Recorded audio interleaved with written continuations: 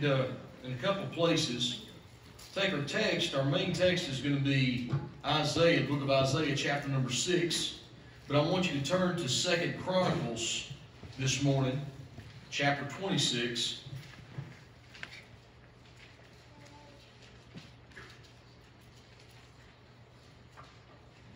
Second Chronicles 26, because we're going to be reading a good part there. And I would ask you, as, as always, keep your Bible open. We're going to be looking through here some verses.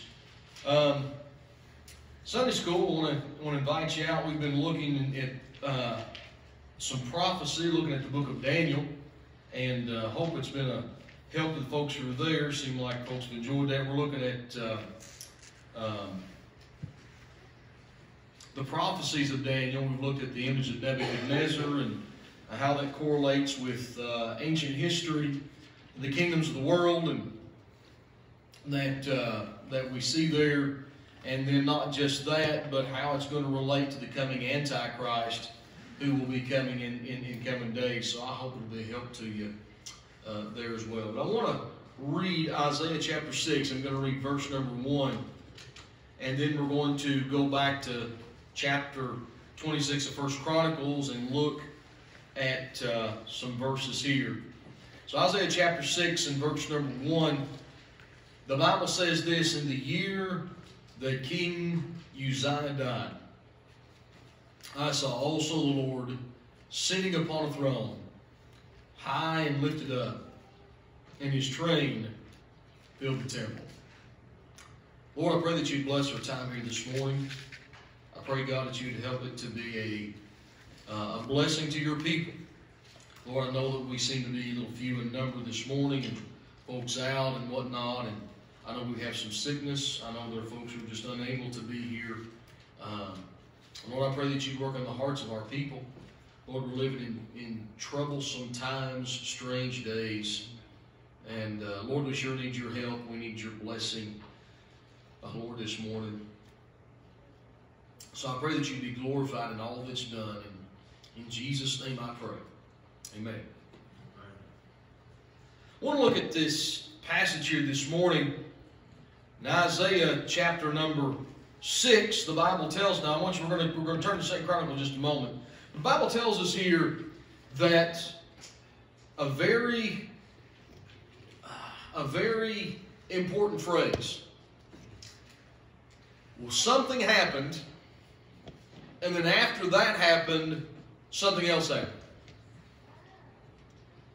It tells in chapter 6 of Isaiah, in verse number 1, that the king of Israel died.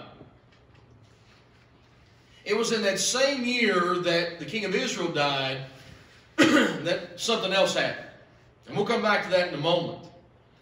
But we usually read Isaiah 6 we concentrate on the vision of Isaiah and we look at what took place when he sees God's uh, throne in heaven. He sees the images of the seraphim, the cry of the holy, holy, holy, and the, the images that go on in heaven. He sees the holiness of God as it were. We concentrate on these verses, and rightfully so.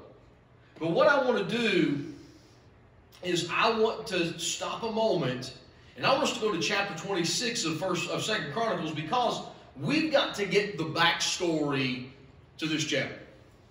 While we hear this chapter mentioned and while it's used for for uh, holiness and consecration and missions, all those for which it is true, we've got to get the backstory first. So I want you to turn with me to the book of Second Chronicles. We're going to look in chapter number 26. You'll excuse me. I've, some of the medicine that I take makes it almost impossible for me to clear my throat, and it is very much a hindrance at times. So um, we want to beg your patience there. Something happened in Isaiah's life that shook him to the core. Something happened that shook his entire being. And I want to say this that Isaiah's world nationally was turned upside down. But to understand how it was turned upside down, we've got to look at the world in which Isaiah lived, listen to me, for a brief time was right side up. I want you to look with me in Second Chronicles, verse 1 of chapter 26. Then all the people of Judah took Uzziah, who was 16 years old, and made him king in the room of his father Amaziah. We could read he built Eloth and resorted to Judah. After that, the king slept with his fathers. 16 years old was Uzziah when he began to reign, and he reigned 50 and two years in Jerusalem. His mother's name also was Jecoliah of Jerusalem. And so, what I want to do this morning, I want to consider about six or seven things out of Uzziah's life and bring us up to this point that we get in Isaiah chapter number 6. The first thing I want to see with is that Uzziah begins his life, and I'm going to say this, as a precious man. Now, what do I mean precious? Well, the Bible says here in two places, we see in verse number 1 that he was 16 years old. Verse number 3, 16 years old was Uzziah when he began to reign. So when I say he's a precious man, I want you to think about the, the, the, the potential of youth. I want us to stop and think about how much potential young people have. That's why we focus so much preaching on young people. Lord help us this morning. We focus so much preaching on young people because there's so much potential. Now I want you to stop and think when we think about someone like uh, like Uzziah at 16 years old. Could you imagine your life at 16 years old? I want you to stop and backtrack a little bit. Now, some of y'all, you got to backtrack a little further than the rest of us, all right? But some of y'all backtrack to 16. And I want you to think a little bit about how much potential you had at the age 16. You were probably in high school then. Some of you probably had a job then. You're thinking about all the things in life that you wanted to accomplish. And I'm looking here ahead and I'm seeing some young folks in our midst today. We got young folks who are in their teens. We have some young folks who are in their 20s. And, you know, some folks, their, their, their lives are still way out in front of them, way out ahead. Here's a precious young man, but he's a man with potential.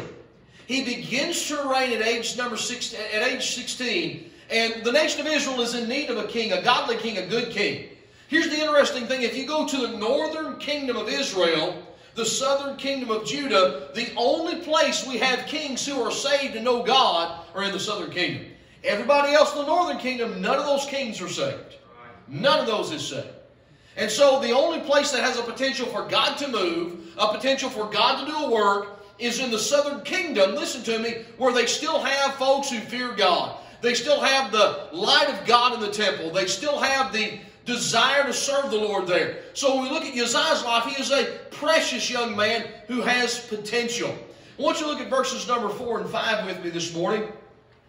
And the Bible says here, and he did that which was right in the sight of the Lord, according to all that his father Amaziah did. This is interesting. So not only do we see a young man who is precious and has, pretend, has potential, but he's a man who seeks after the Lord. Look with me here. He did that which was right in the sight of the Lord, according to all that Amaziah did. Look at verse number 5. And he sought God in the days of Zechariah, who had understanding in the visions of God. So the first thing I want us to see, not only was Zechariah a precious man, a man with potential, he was a prepared young man. He was a prepared young man. Think about Ezra. The Bible says in Ezra chapter 7 verse number 10, and Ezra prepared his heart to seek after the law of the Lord and to do it and to teach in Israel statutes and judgments. This man, young man we see right here is a prepared man. How is Ezra, um, and how is Uzziah prepared man? I want to tell you how he's prepared. He's prepared his life by seeking after God. Young folks, I want to remind you that your life will not be anything that it could be if you do not seek after God before any major life event, before attending college, before marriage, before anything that you've come up with, you always seek after God. And I want to remind you that your relationship with God is the most important relationship in the world, the most important thing in your life. Before your career, before your uh, your marriage, before having children, before the before a job change, everything falls under the umbrella of your relationship with God. And here's a young man who did what a young man ought to do. Number one, he does what's right in the sight of the Lord. And he not only does that, but he seeks after God. He seeks after God. Why do you think that Solomon spent so much time writing to his sons? My son, give me thine heart. Don't go in the way of transgressors. Seek the Lord. Stay with the God of your mother and your father. Love the Lord God with all your heart. Trust in the Lord with all thine heart. Lean not into thine own understanding. In all thy ways acknowledge him, and he shall direct thy path. Here's a young man who was a prepared young man. He sought after God. He sought after God. And I want to remind us that the only way that your, your life's going to be anything is seeking after God. Brother David, you and Ashley getting married here before long. Caleb, you and Miss Anna getting married before long. I want to go and tell you the only way your life's going to be worth a hoot is going to be serving God. Going to be doing what God wants you to do. Yes. Amen. Amen. Amen. That's exactly right.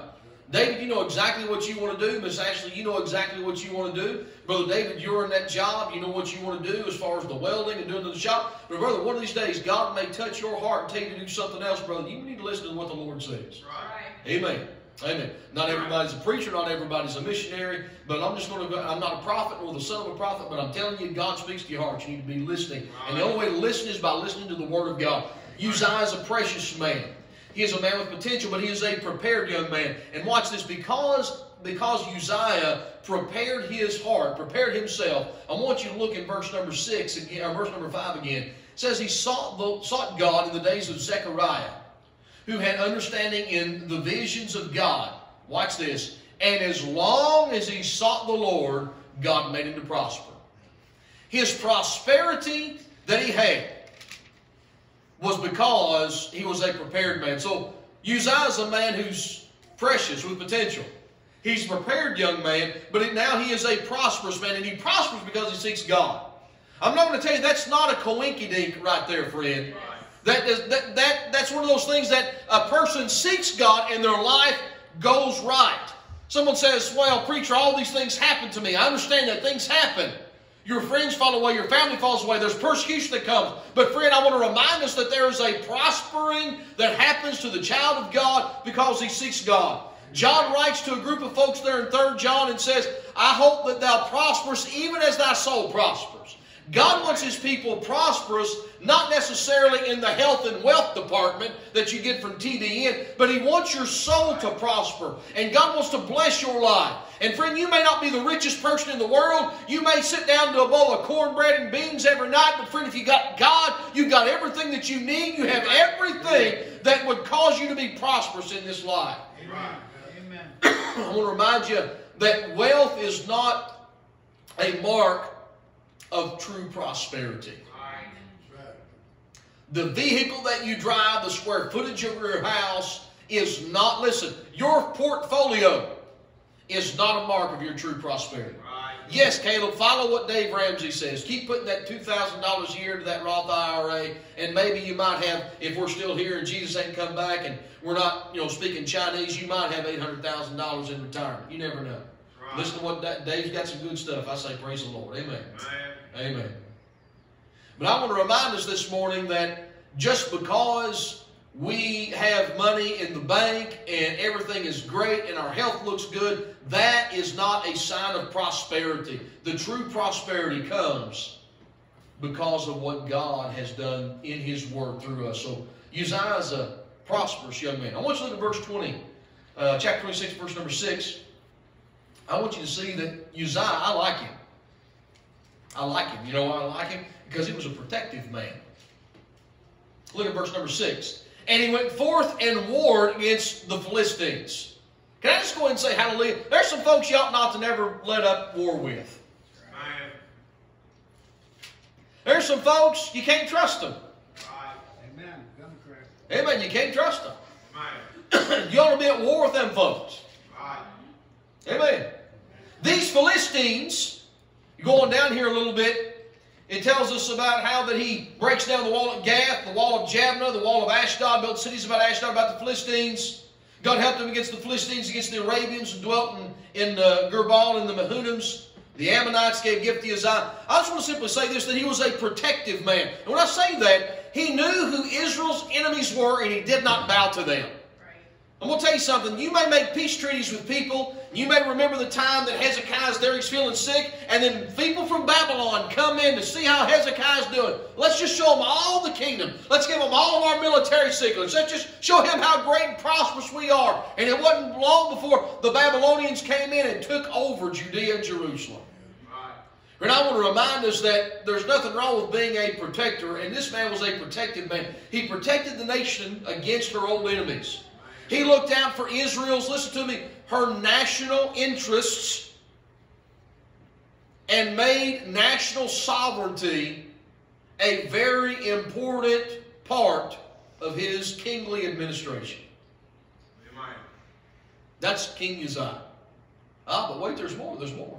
There's more. Look at this. Bible says here in verse number 8, we read part of it, and the Ammonites gave gifts to Uzziah. Can I just simply put it in our, in, in, our terms today? He was known internationally and was respected because of his military ability and power. Amen. This man was, was the one who had made a name for himself among other nations. Folks knew who he was. He was a protective man. He was a protective man, looked out for the nation, looked out for the nation's interest. And in, you know, God's blessing him, and what happens? He makes a name for himself. Not only was he a protective man, but I will say this, he was a productive man. Look at verse number 9, if you will. He was a productive man. Moreover, Uzziah built towers in Jerusalem at the corner gate, and at the valley gate, and at the turning of the wall, and fortified them. Huh. Wow, how about that?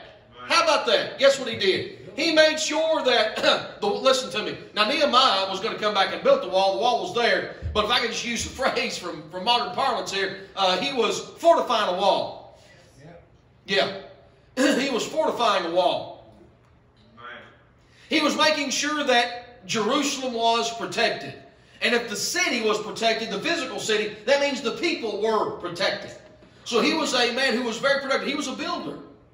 I say, praise the Lord for a guy who's a builder. Amen. Amen. Look down at verse number 10. And he built towers in the desert and digged many wells. That's amazing. So not only does his military ability and his, his looking out for the nation start at Jerusalem, but he's, he's also concerned about other areas in the desert. Why are you going to build towers in the desert? Ain't nobody out there. Why are you building towers in the desert, Uzziah? Because I'm going to make sure that we are protected at every angle. I'm going to make sure that we are, my people and my country are protected at every angle. So he's going to build towers in the desert. Not bad at all. He was a man who had some smarts, some understanding. So he's a builder. Verse number 10, by the way, he also digged many wells. You need wells for two things. You need wells for life-giving water in the event that, hey, we do go to war. Water's pretty important. Without it, you might you, you, you just might not make it. But look at the next part of verse number 10. and that says, For he had much cattle. And understand the towers here, specifically in the context, more than likely for watching all the livestock that's out there. But why do you watch the livestock from towers? Remember the book of Job? Folks come in, kill people, kill the sheep, kill the goats, the livestock. It's not just simply so, so guys can go out there and say, man, look at all these Texas Longhorns now. They didn't have no Texas Longhorns. Look at all the cattle out here. No, they're doing it because they're watching from enemies. But he digs many wells. Look at verse number 10. For he had much cattle, both in the low country and in the plains husbandmen also, farmers, if you will, and vine dressers in the mountains and in Carmel, for he loved husbandry. The man was a productive man. He was a builder and he was a farmer, a rancher, if you will. He was a husbandman. And here's why, why I, I like him because he realized that you're only going to strengthen an economy and a nation by strengthening yourself from foreign powers and by strengthening production inside of your country. That's what he's doing here. He's strengthening production inside the nation. And he is a husband. Can I just tell you this? I like the guy because when I look at Uzziah, here's who I see. I see a common man. I see a fella, look, if the man loves husbandry, if the man loves husbandry, he's more than just a fella who goes out to his nice little British garden walking around, you know, stopping and smelling the, the roses here. He's a king who wasn't afraid to get his hands dirty. I read a story one time uh, of uh, uh, Joel McCrea, the Western actor. Some of y'all know who I'm talking about, the old Western actor. I'm showing my age right now, right? Well, one day the IRS showed up at his farm because he put on his IRS tax return that he was a farmer, a rancher, and not a movie star. The IRS agent said, Sir, you are definitely a movie star. You're not a rancher. Joe McCrea just rushed out and shook hands with him and said, Take a look at those hands, buddy. You don't get hands like that being a movie star. Amen. That's right. Working fellow. This king right here was a fellow who was not afraid to get his hands dirty. Not afraid to get his hands dirty. So he's a man who was a productive man. Somebody that the common man could relate to. Look at verse number 11. Moreover, Uzziah had a host of fighting men. We said earlier that he was a protective man when it came to his looking out for the nation and the national interest. But I will say this, he was a powerful man. Amen. He was a powerful man. He had a host of fighting men that went out to war by bands according to the number of their account by the hand of Jeiel, the scribe, and Maaseiah, the ruler, under the hand of Hananiah, one of the king's captains. One of the king's captains. So he didn't have a little bitty army that was made up of, you know, Joe, you know, Larry Moe and Curly Joe. He had an army that actually could go out and fight. One of his captains. The whole number of the chief of the fathers of the mighty men of valor were 2,600. And so that's the chief fathers of the mighty men. Not to mention however many men he had go out to, to, to army. Look, verse 13. And under their hand was an army, 300,000. 7,500 made war with mighty power to help the king against the enemy. That's something else. He's a powerful man. You got 300,000 men at your disposal. That's not a bad deal, friend. Not a bad deal at all. I believe you could mop a pretty good number of floors with 300,000 men. And listen to me, not only when you think about him being powerful in that sense, but how do you feed an army? How do you clothe an army? How do you equip an army? You can't do it unless you've got a strong national defense system to make sure that your army's taken care of. Right. This man's a powerful man. Look at verse number 14 and 15. You're going to see he's a prepared man when it comes to his army. And Uzziah prepared for them throughout all the host shields, spears, helmets, habergeons, bows, slings to cast on. Habergeons just like a small shield that would go out on the front. All those things there. Slings to cast stones. Look at verse 15. And he made in Jerusalem engines invented by cunning men to be on the towers and upon the bulwarks to shoot arrows and great stones with them. And his name spread far abroad, for he was marvelously helped till he was strong. Look at this. This man's a prepared. Man. He ensured that his armies were prepared for battle. And watch this. the weapons of his army weren't made by the lowest bidder. That's right. You read some of those little lists on the internet, and they always tell you, you know, just remember that when you're in the heat of battle, that the weapon you're carrying was made by the lowest bidder. That's really comforting, isn't it? I want to tell you this Uzziah didn't farm out the lowest bidder per se to make weapons. This man is inventing engines, war machines to protect the nation.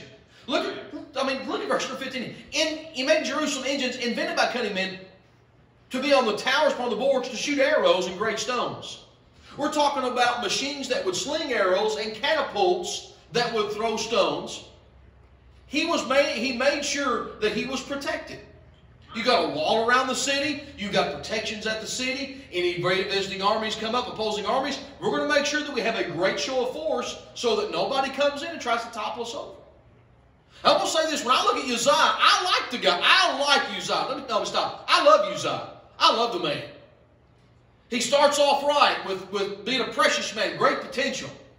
He starts off preparing his way as a young man. He becomes prosperous because God bless him. He protects his country. He's productive. He builds and he, uh, he, he, he raises livestock because he's wanting his nation to grow. And he becomes a powerful man. The armies are there. He's a prepared man. He prepares his people. He prepares his army. He's prepared for battle. I'm, I'm, sure if you looked at Uzziah with all the material and all the armaments around Jerusalem, they'd say, Uzziah, what are you afraid of? And he'd say, nothing. Right. Man. But I want you to look at the end of verse number 15. And his name spread far abroad, for he was marvelously helped till he was strong. Uzziah started life off with a lot of potential. He prepared his heart to seek after God. He protected his country. He was productive. He was a powerful man. He prepared for whatever would come down the pike. But I want us to look at verse number 16, and I want us to see that Uzziah was a prideful man. But when he was strong, friend, the problem is whenever the strength comes, watch this, even if it comes from the Lord, and we take our eyes off of Him. Who prospered Uzziah? Who helped Uzziah? Who blessed Uzziah is God. And we see here that verse 5, as long as he's as he sought the Lord, God made him to prosper. But we look at verse 16. But when he was strong, his heart was lifted up to his destruction. He was a prideful man. What led to his downfall? We can read on down here and see what happened. Just let's just look at look at the rest of the story. For he transgressed, verse 16, against the Lord his God, went into the temple of the Lord to burn incense upon the altar of incense. And Azariah the priest went in after him, and with him fourscore, eighty priests of the Lord that were valiant men. Now watch that. Valiant men were priests. Uh, look, look at me a minute. These weren't pushovers. These weren't little bitty fellows who couldn't, you know, uh, who were educated idiots. They were strong. They were men with backbones, and they knew it was going to take that kind of a man to stand against Uzziah because he was a man's man. Right. It took equal priest, if you will. They withstood Uzziah the king and said to him, It appertaineth not unto thee, Uzziah, to burn incense unto the Lord, but to the priests, the sons of Aaron, that are consecrated to burn incense. Well, where in the world do you get that, buddy? We got that from God, friend. You got your call from God to watch over the nation. The priests have the call of God to burn incense and to lead the nation in worship. Mr. King, it is not for you to step into the priest office. Right. It's not for you. Amen. Go out of the sanctuary, for thou hast trespassed. You imagine somebody telling that to the king today? You trespassed. You judgmental person. You're a hater. You're not supposed to say such things to me. You're judgmental and you're hateful. And we just don't like your God. My God's loving and kind. He would never judge me or say anything to me like that. Because he don't exist, that's why. Amen. Right. Thou hast trespassed. Neither shall it be for thine honor from the Lord God. Look at verse number 19. This shows you how far Uzziah was lifted up in himself.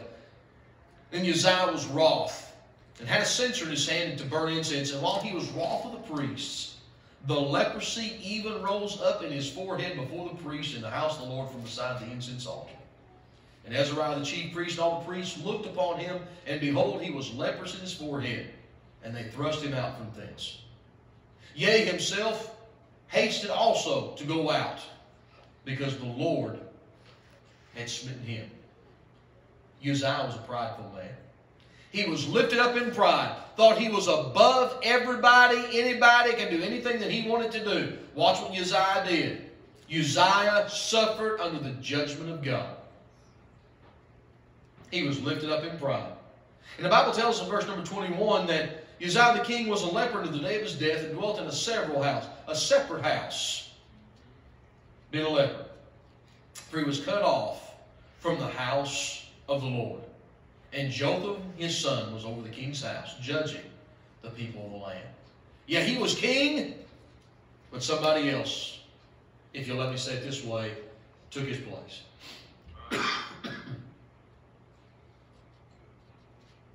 now, how long it took here from the time that this happened and how long Jotham actually was uh, there, we don't know exactly. I mean, the next chapter tells us that he reigned uh, 16 years in Jerusalem. What a blessing that was that he reigned 16 years. Does that mean that Uzziah was in his several house for 16 years? That's not very clear. But I want you to look at something here about the pride of Uzziah and how far that it went. Look at chapter 27 and verse number 2, speaking of Jotham. And he did that which was right in the sight of the Lord according to all that his father Uzziah did. Watch this. Howbeit, he entered not into the temple of the Lord. Listen to me. Uzziah's error limited the worship of his son. Nothing wrong with going into the temple. Nothing wrong with going into the sanctuary. Nothing wrong there. There are certain places where the priest would go. Only the priest would go. But do you remember Leviticus telling us that we put our hands on top of the head of the burnt offering and the, the, the throat's cut right there next to the altar and then the blood's around the altar? You're there next to the altar while the priest is offering. But this right here tells us that he didn't even go to the house of the Lord. Why not? Because of what happened to his dad. And I want you to look at the last verse. And the people did yet what? Corruptly. His error affected the nation. The error of Uzziah affected the nation. Right. And no doubt, listen to me, the nation probably for a long time was in mourning because such a great king had come to such an abrupt and dishonorable end. Right. I will tell you, I love Uzziah. I love him. I like him because of the way he works. I like his priorities. I like that he built. I like that he liked ranching. I like all of that. But brother, when I look at Uzziah and I see his life, the backstory to Isaiah chapter number six, I see a man who was lifted up in pride. So I want us to go with those thoughts to Isaiah chapter number six. King Uzziah's proof. A couple things. Number one, you say, well, God, God's been opposed him, and shortly after, if you will, he was opposed, and wasn't long until he was deposed by God.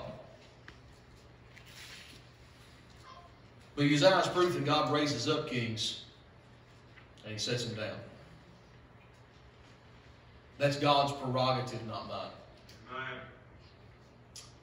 I want you to look in chapter 6 and verse number 1 of the book of Isaiah. I said there were two life shaking events that happened that changed Isaiah's life forever. And those two life changing events we see in chapter 6 and verse number 1. In the year, watch this, that King Uzziah died. You cannot tell me that Isaiah did not love the king. We see Isaiah's relationship with Hezekiah. Isaiah's a bold prophet. He wasn't a brash prophet, he was a bold prophet. He was a prophet who wanted to be there, he wanted to be a help, he wanted to be a blessing to the men of God, the kings who were over the nation of Israel. But the two life shaking events that took place, listen to me, was the death of King Uzziah. And in verse number one it says, I saw also the Lord sitting upon a throne high and lifted up, and his train filled the temple. The two life changing events that happened in the same year for Isaiah the prophet were this the king died, and then God presented a vision. If you will let me say this, the king died. But then the King of Kings let me know that he was still on the throne. Amen. And I'm going to say this this morning as we've looked at Uzziah's life. Want to briefly consider Isaiah's vision. We've heard it preached on before. But I want to say, I want to, I want to understand this. Isaiah did not get his vision of God, did not see the, the, the majesty of God until the death of the king. And friend, I want to remind us that sometimes there are kings in our lives, kings over nations, things in our lives. We're never going to see God until those things pass off the scene. And while an earthly king is important, and while Uzziah did a wonderful job of making sure that the people were protected, the economy was booming, and that everything was going on, and Jerusalem had armaments, and everybody was looking out for against the opposing nations. Uzziah was a man who was prepared, he was productive, he made sure that Israel was taken care of. But, brother, I want to say this that even though Uzziah did that, there is one who rules in the heavens who watches over his people. And while an earthly king may protect an earthly people, there is a God in heaven who rules and reigns in the heavens, and he is the one who protects his people. And it makes no difference what an earthly king does, the God of heaven is the one who's in control. Amen. We never need to forget that, friend. Right. No matter what happens in our world, we need to remember that the God of Abraham, Isaac, Jacob, and the church of the living God is the one who's in control. Right. Never forget that. It's not a coincidence, friend. Listen to me. It's not a coincidence that Isaiah did not see the King of Kings until the earthly king passed off the scene. Amen.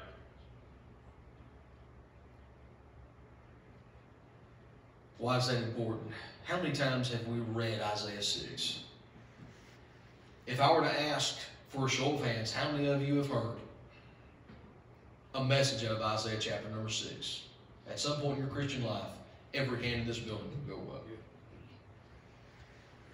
The reason you have Isaiah chapter 6 is because King Uzziah died. The little king, little K, king, had to get out of the way so that the capital K king could be the center point of Isaiah's mm-hmm. ministry. Five chapters. Woe, woe, woe, woe, woe, woe are you, woe is you, woe is you. You all bunch of people, woe is you. You people over here, you ain't doing right. Now you know you ain't doing right. I know I'm not preaching wrong. Y'all ain't doing right. Woe are you, woe is you, and woe are you right there. But then Isaiah gets a hold of, gets a hold of, of this vision, and the vision actually gets a hold of him. And then Isaiah says this, woe is me. Verse excuse me, 1 through 4, we see the holy presence of God. I'm not going to dwell on this because I simply just want to read the verses and move on. The train of God fills the temple in verse 6. Verse 2 above it stood the seraphims. Each one had six wings. Twenty covered his face, with twenty covered his feet, with twenty did fly. One cried unto another and said, Holy, holy, holy is the Lord of hosts. The whole earth is full of his glory. And the posts of the door moved to the voice of him that cried, and the house was filled with smoke. You have a picture of the holiness of God. The reason the house is filled with smoke is because of the infinite fire of God. I mean, Paul tells us in, in Hebrews that our God is a consuming fire. Where there's fire, friend, there's going to be the remnants of that, the telltale signs of that. We also have the altar that is burning there in verse number 6, and we have that. We see Isaiah's awful realization, verse 5, and he said, Woe is me, for I'm undone. For I'm a man of unclean lips, and I dwell in the midst of a people of unclean lips. Now, why did he say that? For mine eyes have seen the King, the Lord of hosts. we see that awful realization. We see the fiery cleansing, verses 6 and 7. One of the seraphims having a live coal in his hands. Boy, look at there which he had taken with the tongs from off the altar. I laid it on my mouth and said, Lo, this has touched thy lips, thy iniquity is taken away, thy sin purged. We have the cleansing of Isaiah. And watch this in verse number 8. Also I heard the voice of the Lord saying, Whom shall I send, and who will go for us? Then said I, Here am I. Send me. We have the call of God come. The commission to Isaiah is coming forward to say, Yes, I'll go. It took the death of the beloved leader of the nation for Isaiah to see God. Watch this. And then Isaiah to be sent, listen to me, to the same people the king once used to rule over. It took the death of the king for Isaiah to see God. May I say this? When the king died, Isaiah went from an earthly perspective in our text here to an eternal heavenly perspective that there was a work yet needed to be done in that country that was so greatly blessed by his eyes uh, rule. But it took the death of the king to see that. It took the death of the, listen to me, I want you to listen to me very carefully. It took the death of the beloved leader of the nation for Isaiah to focus on the call of God for his life. And it took the death of that beloved leader of the nation for Isaiah to see that there were other people he needed to be sent to. Folks, it ain't, it ain't about our four no more. It's not about the four church walls and everybody who's in here. There is a world of people outside. We live in a sinful world. Um, I get a notification on my phone that said, you know, shots fired at, you know, Minhofer 21st. And somebody puts a little text on under, under that notification and said, when are shots not fired in that area?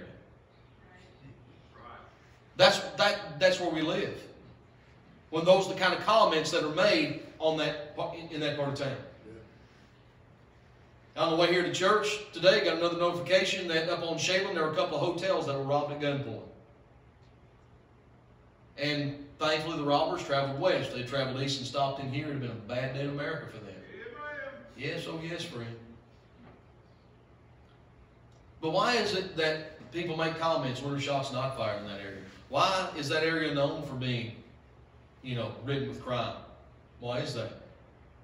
It's because there are people in that area who need to come face to face with God, with God Almighty. And, and I don't want you to take wrong what I'm about to say. Please don't take wrong what I'm about to say.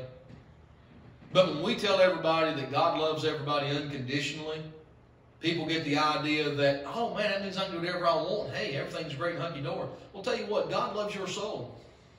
But you disobey God, you blow smoke in God's face, and you go do your own thing, and you die without God, God will put you in hell quicker than you can, you can shake a stick in a that. Don't get me wrong, I do believe John 3.16. But we've had so much of this, so much of this preached where God loves and loves everybody, loves everybody, loves everybody, that we've almost done away with the idea of sin, judgment, and hell. We've almost done away with the idea that our God is a what? A consuming fire. I love fire in the cold winter. I'd love to have a wood stove. I think it's the best way to heat a house, praise God. I love it. but brother, I might be cold, but I'm not jumping into the wood stove to get warm. I'm not going to roll around in the fire to make sure that I don't get frostbite, friend. I understand there's going to be a healthy spirit, health, a healthy distance away from the fire because the fire, the same fire that warms is the same fire that kills. The same fire that can give life is the same fire that can take away life. And friend, we've got to understand that there is a God in heaven, and those folks who will not bow to Him will stand in judgment and will be screaming as they're tossed into the charred walls of a burning hell, never to get out. Right. And friend, the only way Isaiah saw that, he saw that when King Uzziah died. Now, it may not been immediately. He just said in the year that he died. It could have been several months after. We have no idea how long that was. But what we do know is that the two life-shaking events that happened in Isaiah's life was the death of a beloved king and his vision of the Lord that caused him to refocus his priorities and put him where God wanted him in the ministry. So, friend, I just want to leave that with leave us with that this morning. Isaiah had a life-changing moment. And you and I are never going to have any kind of life-changing moments until something happens in our lives and gets us focused on God. Help us to learn from Isaiah. Amen. Let's all stand on our feet this morning. our Father, we thank you for this day. Thank you for the grace of God that bringeth salvation that hath appeared to all men. Lord, we're grateful for the goodness of God, the mercy of God that's led us to repentance, for all that you've done for us. Lord, we pray that you'd help us to get our eyes and hearts focused on you in these days. Lord, as we've looked at Isaiah and we see what's transpired in his life, and how that, Lord, such a great, great need took place in his life after the king had died. And Lord, you were gracious to visit him. And as it were, almost recommissioned him in a sense, Lord, anew and afresh to preach to just a small remnant of people. Lord, I pray that as that call would go out today, who will go for us and whom shall I send? That there would be folks this morning who would raise the hands of their hearts and say this, Lord, here I, send me. I pray you'd be glorified in all things today. I pray that you'd help us this afternoon, Lord, as we uh, eat dinners, we fellowship. And Lord, as we look over things for tonight, you'd bless the young ladies' class. You'd bless the uh, prayer room tonight. That you'd bless our service this evening. God, you'd be glorified in all things. Thank you, Lord, for your mercy and your grace. Lord, for all you do, we'll thank you in Jesus' name. Amen. Amen. Amen.